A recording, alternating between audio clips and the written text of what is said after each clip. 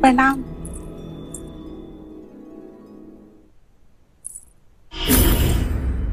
ये ये हार तेरे पास कहाँ से आया? दे- देवी यशोधरा ने दिया। यशोधरा के कक्ष से हार चुराती है और कहती है देवी यशोधरा ने दिया। बता मुझे। मेरा विश्वास कीजिए। तेरा विश्वास करूँ? हाँ? तेरा विश्वास करूँ? चल चल मेरे साथ। झूठ बोलती है चल मंगला काकी ये क्या कर रही हैं आप? मत रो हाँ यशो तेरे चोर को पकड़ू मैं और तू उससे सहानुभूति जता रही है? इस निर्दोष ने कुछ नहीं चुराया। आँखों वाले अंधे को क्या कहे? ये हार ये हार इसी ने चुराया है। नहीं ये हार मैंने इसे दिया है। क्षमा करना। मेरे कारण तुम्हारे साथ ये दुर्व्यवहार हुआ। निसंकोच जा सकती हो।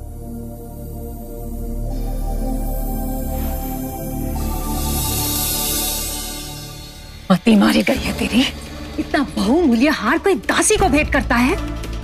ये हार मेरे लिए धूल समान है। यशो हीरे जवाहरात का मूल्य भी तुम जानती हो? ये हार अगर किसी ने मुझे भेंट किया होता तो मैं आश्चर्य कुमार देवदत्त ने यह हार मुझे क्यों दिया? अपनी माता को देते जो इसका मूल्य समझ सकती देवदत्त। और तुमने देवदत्त के दिए हुए उपहार का तिरस्कार किया? बुरी बात, बहुत बुरी बात। वो बेचारा देवदत्त तुम्हारे लिए कितना चिंतित है। उपहार का मैं कभी तिरस्कार ना करती। कुमार देवदत्त की चिंता का मूल्य भी होता। यदि ये हार देने की भावना शुद्ध होती। मैं देवदत्त को परखने में गलत हूँ। मंगला काकी, आप तो देवदत्त को सबसे कहीं अधिक जानती हैं। मंगला काकी, देवदत्त के स्वभाव में ही खोट है।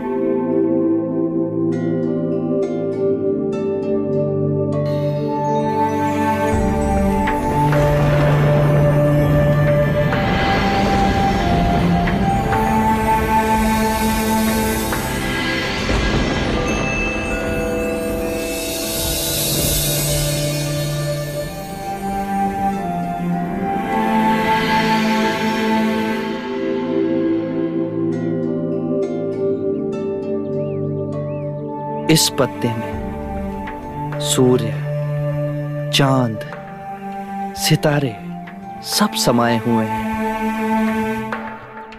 सूर्य के बिना इस पत्ते का अस्तित्व नहीं होता। बादलों के बिना वर्षा नहीं होती। और वर्षा के बिना यह पत्ता नहीं होता। पृथ्वी, अंतरिक्ष, समय मन सब इसमें समाये हैं। जैसे इस पत्ते का ना कभी जन्म हुआ, वैसे मेरा भी कभी जन्म नहीं हुआ। हम सब केवल प्रकट हुए हैं। इसीलिए हम कभी मृतक नहीं हो सकते। केवल अप्रकट हो जाएँगे। सारा ब्रह्मांड एक दूसरे से जुड़ा है। और इसमें कोई द्वैत नहीं। अद्वैत है। प्रकृति का एक रूप यह पत्ता है। मैं हूँ। हम सब हैं।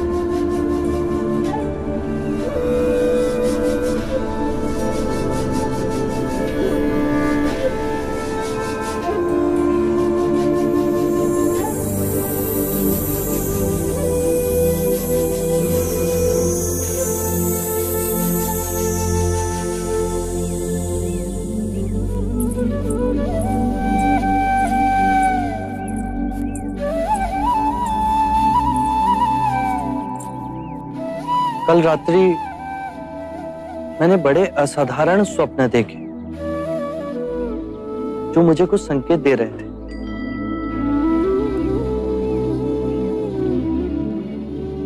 प्रथम स्वप्न में मैंने देखा कि ये पराक्रमी पृथ्वी मेरा बिछोना है। पर्वतों का राजा हिमालय मेरा सिरहाना है। मेरी बाई भुजा पूर्व के महासागर पे विश्राम कर रही है। मेरी दाई भुजा पश्चिम के महासागर में टिकी। मेरे दोनों चरण दक्षिण महासागर के जल से प्रक्षालित हैं। दूसरे स्वप्न में मैंने देखा कि मेरी नाभि से त्रिया नामक घास का तिनका उगा और बढ़ता ही रहा, जब तक उसने बादलों को ना छू लिया। तीसरे स्वप्न में मैंने देखा कि हर रूप, हर वर्ण, हर रंग के असंख्य मनुष्य मेरे चरणों में अंजलि दे रहे हैं। चौथे स्वप्न में मैंने देखा कि चारों दिशा से चार अलग रंगों के पंछी उड़ के मेरी ओर आए। पर मेरे समीप आते ही उनका रूपांतरण हुआ। वो अपने विभिन्न रंगों को त्याग, शुभ्र श्वेत रंग के हो गए। ये इस बात का सूचक है, हर रूप, हर रंग के लोग मेरी शरण में आएँगे। बिना किसी भेदभाव पाँचवें स्वप्न में मैंने देखा कि मैं एक गोबर और लीद के पर्वत के नीचे खड़ा फिर मैं उस पर्वत के शिखर पर चढ़ा और लौट कर नीचे आया पर मैं मलिन नहीं हुआ। यह संकेत देता है कि मैं जीवन की दलदल में रहकर भी पुनीत रहूँगा। आपके सपने तो हमें समझ ही नहीं आए। मैं भी इन स्वप्नों का अर्थ ढूंढ रहा हूँ। मेरे अंतर मन से एक स्वर उठ रहा है कि मैं सद्धर्म का मार्ग पाने वाला हूँ। पहले ये खीर तो खा लीजिए।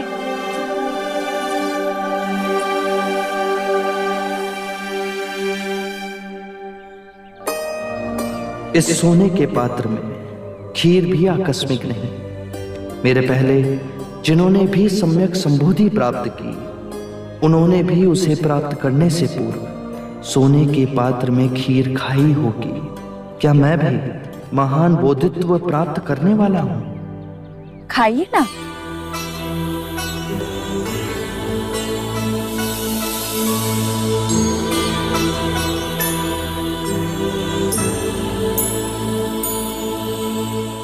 क्या ये स्वर्ण पात्र तुम मुझे दे सकती हो? अवश्य। तो चलो मेरे साथ। मुझे एक परीक्षा लेनी है।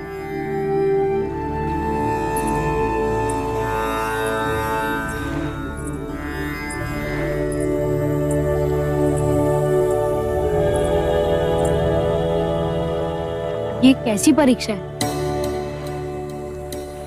यदि मैं बुद्धत्व के निकट हूँ तो ये स्वर्ण पात्र नदी के प्रवाह के विपरीत दिशा में बहेगा।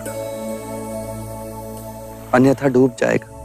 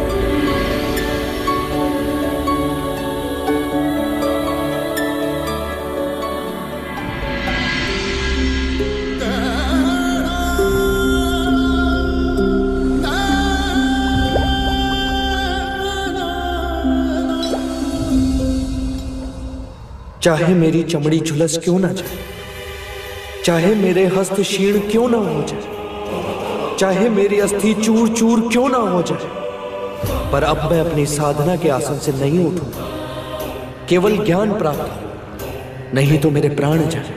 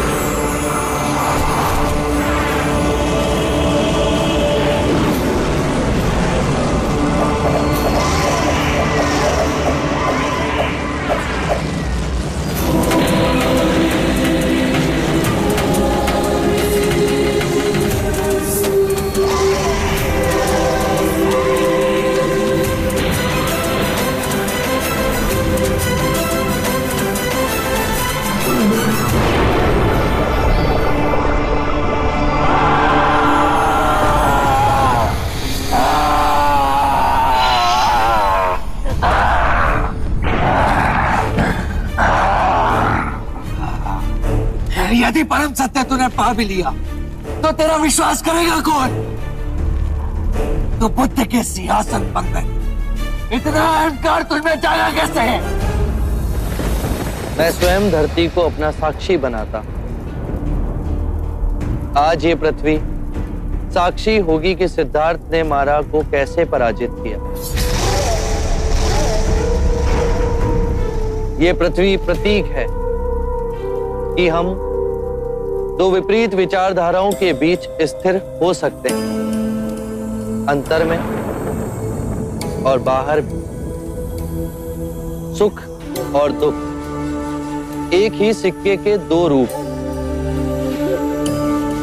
जब सुख की कामना का अंत हुआ तो दुख का भय समाप्त हुआ। जीवन का उद्देश्य हर जीव को विचरना है। उसे अपनी चेतना जगाना है। आकाश गंगाओं में यात्रा करो, पर पैर धरती पर गड़े होने चाहिए। मैंने पा लिया है। सुख, दुख, रात, दिन अच्छा बुरा, मन और माया का खेल। परंतु उसके बीच एक मध्य बिंदु है, वही जीवन का स्रोत। है और वो हर मनुष्य की चेतना में कहीं बाहर नहीं।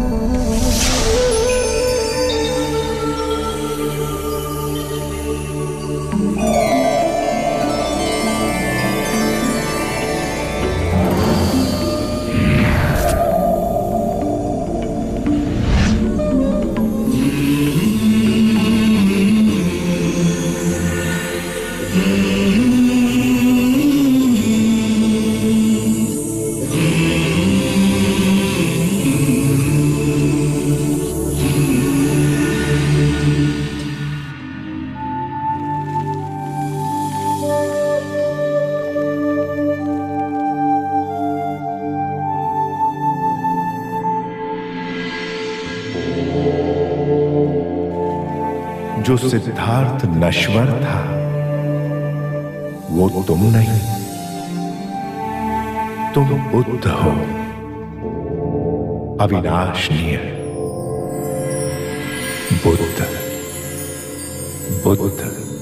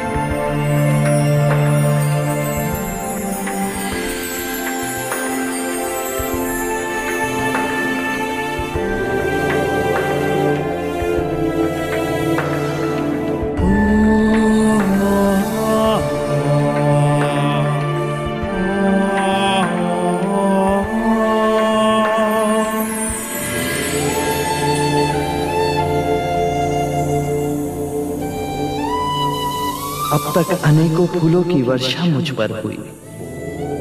पर आज पहली बार मैंने एक फूल को जाना, अंतर साथ किया।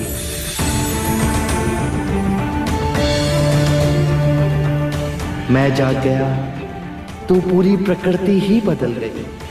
आज इतनी सघन शांति है, जैसे अंतर के नीले आकाश विचारों के सारे बादल छट गए। मैं भी तुम्हारी तरह स्वच्छंद हो गया। टूट गए सारे बंधन। मिट गए वो अंधेरे जिनमें इतने वर्षों भटका गहरी नींद में सोया था और अब जाग गया। यदि मैं जाग गया तो सारी मनुष्यता भी जाग सकती है। सब जाग जाए तो पृथ्वी पर। शांति और सुख का नया अध्याय शुरू होगा।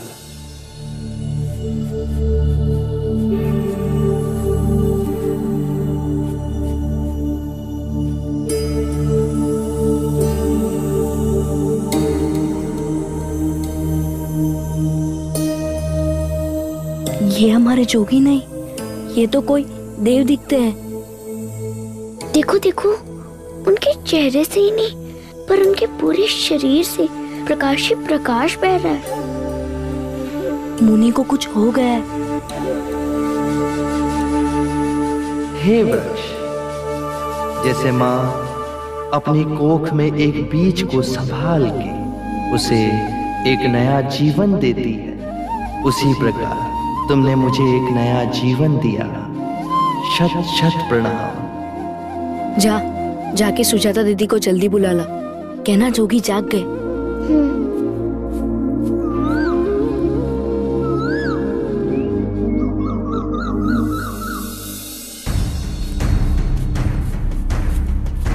दीदी दीदी। क्या हुआ? दीदी जोगी को कुछ हो गया है। क्या हुआ उनको? दीदी उनका चेहरा पीला हो गया है।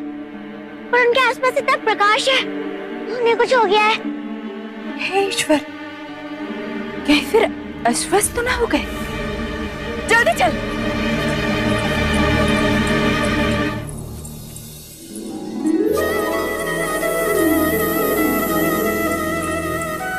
आज मैंने एक बड़ा ही सुखद स्वप्न देखा। यशो नहीं माँ पहले आप बोलिए। नहीं पहले तू बोल। माँ मैंने कल रात स्वप्न में देखा ये कपिल वस्तु लौट आए हैं। चारों ओर ढोल नगाड़े बज रहे हैं। प्रजा जन के द्वार पर दीपक जल रहे हैं। रंगोली बनी है। और वो लोग पूजा की थाल लेकर उनकी प्रतीक्षा कर रहे हैं। चारों ओर से फूलों की वर्षा हो रही है। परंतु वो ना देखे केवल उनके सुंदर चरण दिखाई दिए। तुझे कैसे पता कि वो चरण सिद्धार्थ के ही थे? हाँ माँ। उन्हीं के थे। अच्छा अब आप बताइए कि आप क्या कह रही थी? मुझे भी कल रात बहुत मीठी नींद आई। सुबह जब मैं जागी तो ऐसा लगा जैसे छह वर्षों से मन पे रखा हुआ बोझ उतर गया। मुझे भी आज ऐसी अनुभूति हुई जो कि आर्य को पहली बार देखने के पश्चात हुई थी। ऐसा लग रहा है जैसे मन हवा में डोल रहा है। हो ना हो माँ कुछ ना कुछ शुभ घटा है। सच यशु सुबह से मेरा भी दायां अंग फड़क रहा है। कुछ ना कुछ शुभ घटित होने वाला है। कोई स्वप्न देख के प्रसन्न है तो कोई अंग फड़कने से प्रसन्न है। मंगला दीदी प्रसन्नता तो एक छोटे से फूल से भी हो जाती है। किंतु कुछ लोग ऐसे भी हैं जो धन और धान्य से संपन्न होने के बाद भी प्रसन्न नहीं होते। ये संकेत मेरी ओर है महादेवी। नहीं काकी माँ माँ संकेत में बात नहीं करती। आज तो मेरे अंदर भी ऐसे उमंग उठी है। माँ ऐसा लग रहा है जैसे सब कुछ बदल गया है। अथवा हम बदल गए हैं। बदलाव? मुझे तो नहीं लगता।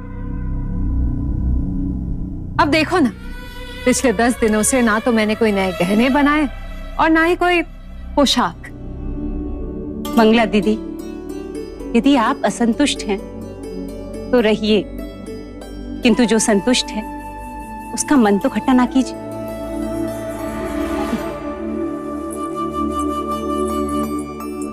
पता नहीं क्यों आज हर क्षण मैं इनकी ओर खींची जा रही हूँ माँ।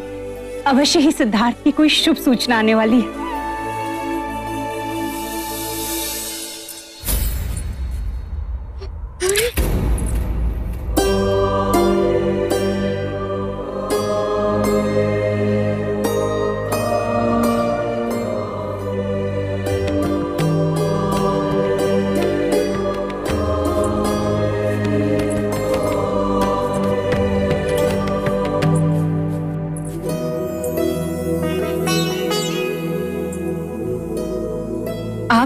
जोगी ही हैं।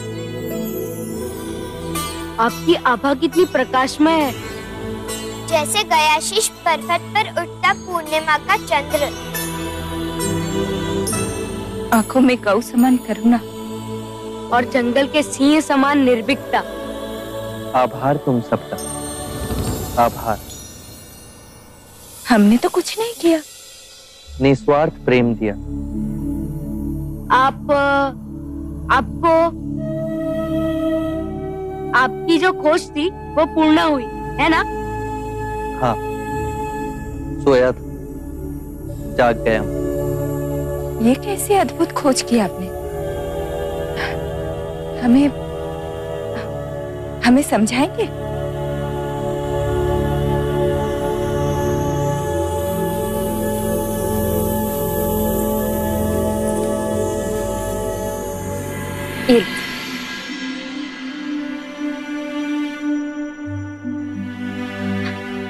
आप तो ले लेते।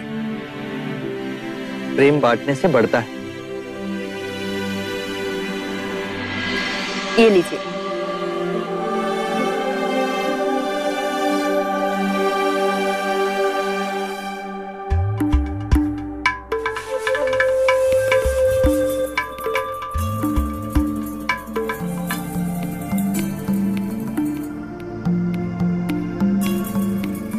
जब हम नारंगी खाते हैं हम उसे पूर्ण जागरूक होकर नहीं खाते। हमारे लिए ये नारंगी असत्य है। यदि ये नारंगी असत्य है तो इसे खाने वाला भी असत्य हुआ ना? बेहोशी में हम इसे खाते हैं। यदि हम इसे होश पूर्वक खाएँ तो इसका अर्थ है, हम पूरी चेतना से इस नारंगी के साथ एक रिश्ता जोड़ रहे हैं। ऐसा क्यों होता है? क्योंकि नारंगी खाने में हमारा ध्यान नहीं होता। हमारा मन अंदर ही अंदर असंख्य विचारों के पीछे दौड़ता रहता है। आने वाले कल की चिंता, बीते हुए कल का रोना, यदि वो इस ही क्षण में हो तो ये नारंगी यथार्थ और फिर तुम भी यथार्थ हो, सत्य हो, जो व्यक्ति जाग गया। उसे इस क्षण, इस नारंगी में वो सब दिखाई देगा, जो एक बेहोश व्यक्ति कभी नहीं देख सकेगा। जागा हुआ व्यक्ति उस वृक्ष को देखेगा, जहाँ ये उपजा। वसंत ऋतु में उस वृक्ष पर खिलते हुए फूलों को देखेगा, धूप को उस वृक्ष को पालते हुए देखेगा, वर्षा की बूंदों को उसे सींचते हुए देखेगा। पूरी प्रकृति इसमें समाई कितनी सरल सी बात लेकिन ये हमें क्यों नहीं समझ आई? ये समस्या नहीं। इसे अपने हृदय से देखना पड़ता है। इस नारंगी में और हमारे जीवन में समानता है। बताओ, इस नारंगी में कितनी फाके उसी प्रकार हर दिन में 24 घंटे होते हैं। 24 घंटों को होशपूर्ण इस तरह से जीना, जैसे इस नारंगी की एक एक फांक का रस चखना।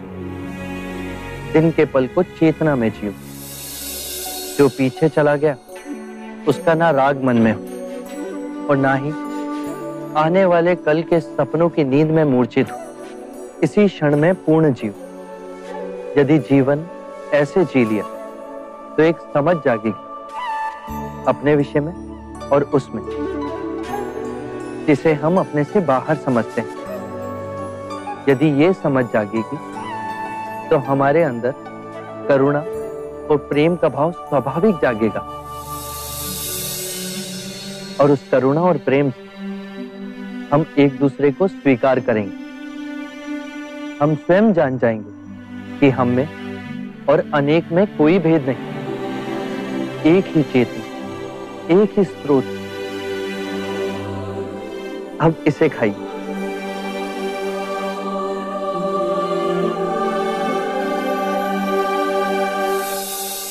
दीदी ये वस्तु तो आप लाना भूल ही गई।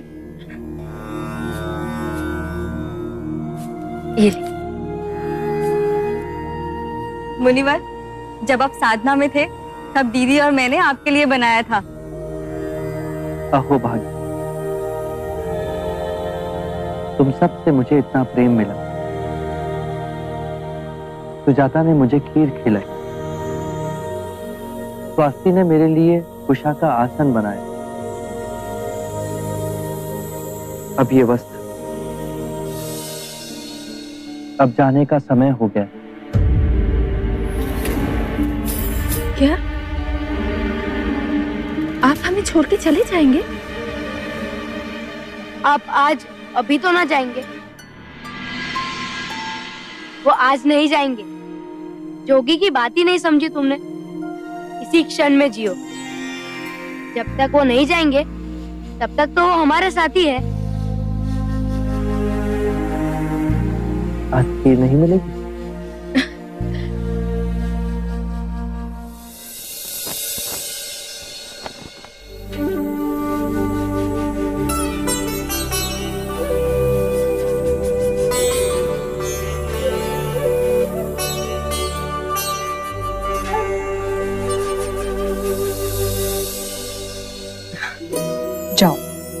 गुरुजी को प्रणाम करो।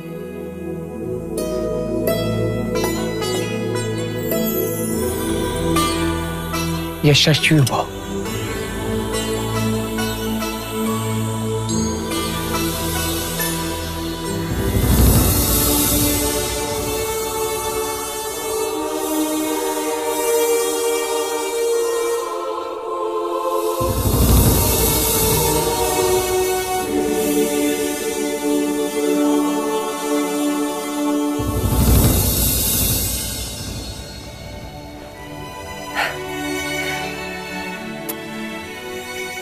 से तुम्हारी शिक्षा प्रारंभ हो रही है। खूब मन लगाकर अभ्यास करना हम्म?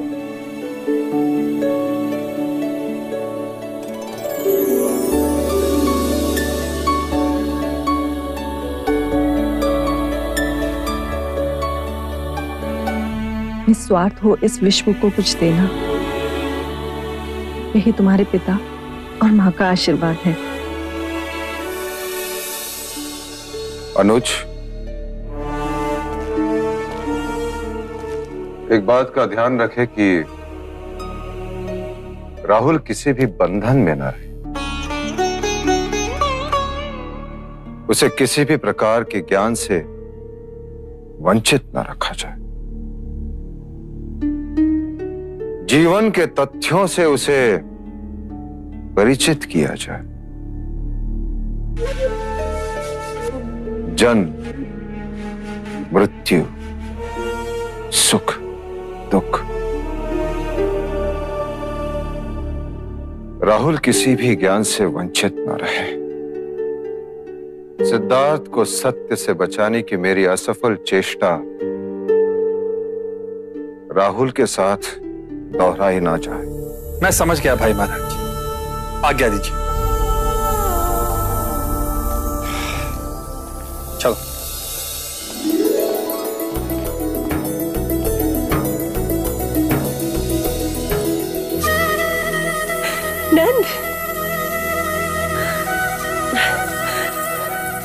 नंद।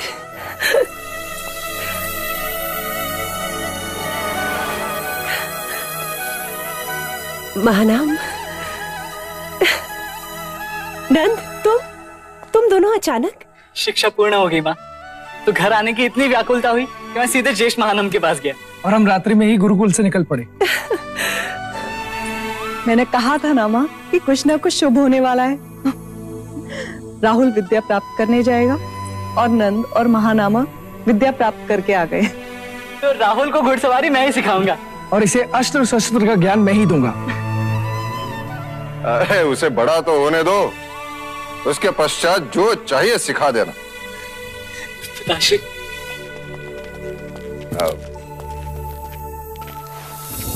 अजीब भाग्य पाया देवदत्त ने। सिद्धार्थ जब सिंहासन खाली छोड़कर चला गया। तो ये नंद आतंका अब देवदत्त को कोई बड़ा कारनामा करना होगा। आप चले जाएँगे तो? स्वास्थ्य यदि मैं यहाँ रुका तो कितने प्राणी इस संसार में मुक्ति के मार्ग से वंचित रह जाएँगे? परंतु हम आपके बिना कैसे रहेंगे? देखो स्वास्थ्य तुम्हारे पानी में पत्थर फेंकने से एक तरंग उठी। और उस तरंग से कितनी और तरंगे बनती गई। ऐसा क्यों हुआ? क्योंकि पत्थर ने पानी में गिरते ही पानी को ढकेला इससे और तरंगे बनी। तो मैं गया कहा? तुम्हारे साथ ही तो हूँ। मैंने तुम्हारे चटलिका बालागुप्ता पूर्णा और सुजाता के मन में एक तरंग पैदा की। अब ये तरंगे तुम सब दूसरों के मन में पैदा करो। और आप दूर जाके सबके मन में तरंगे पैदा करेंगे। इसे हम ज्ञान मार्ग कह सकते हैं? हाँ स्वास्थ्य और इस मार्ग पर चलकर पूर्ण जागरूकता प्राप्त होगी। क्या हम आपको पूर्ण जागरूक व्यक्ति कह सकते हैं? मगधी में जागरूक व्यक्ति को बुद्ध कहते हैं क्या हम आपको बुद्ध कह के संबोधित कर सकते हैं अवश्य बुद्ध बुद्ध बुद्ध बुद्ध बुद्ध बुद्ध बुद्ध बुद्ध बुद्ध बुद्ध बुद्ध और जिस वृक्ष के नीचे आप जागृत हुए क्या हम उसे बोधि वृक्ष कह सकते हैं? हाँ। जिस वृक्ष के नीचे सिद्धार्थ बुद्ध बने वो बोधि ही कहलाएगा। बोधि वृक्ष बोधि वृक्ष बोधि वृक्ष बोधि वृक्ष बोधि वृक्ष बोधि वृक्ष बोधि वृक्ष।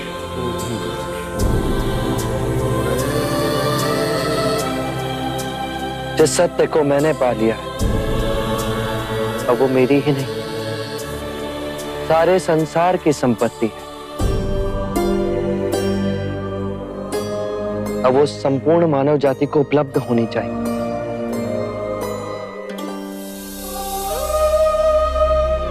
आप हमें कभी ना मिलेंगे।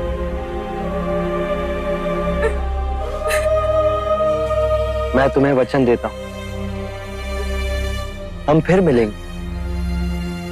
मैं उरुवेला अवश्य लौट कर आऊँगा।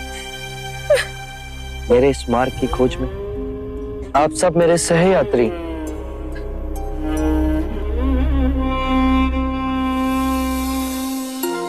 अश्रों के साथ मुझे विदा करोगे तो मेरा मन भारी हो जाए आप सब मुझे मुस्कुरा कर विदा करें।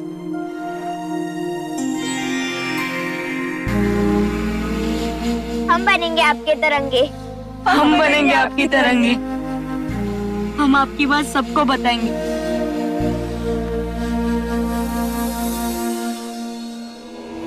आरंभ हो गई निर्वाण प्रथा। सुनो सुनो ये बुद्ध कथा। हर दिन के पल को चेतना में जी। जो पीछे चला गया, उसका ना राग मन में हो, ना ही आने वाले कल के सपनों की नींद में डूबे रहो। इसी क्षण, अर्थात सचेत अवस्था में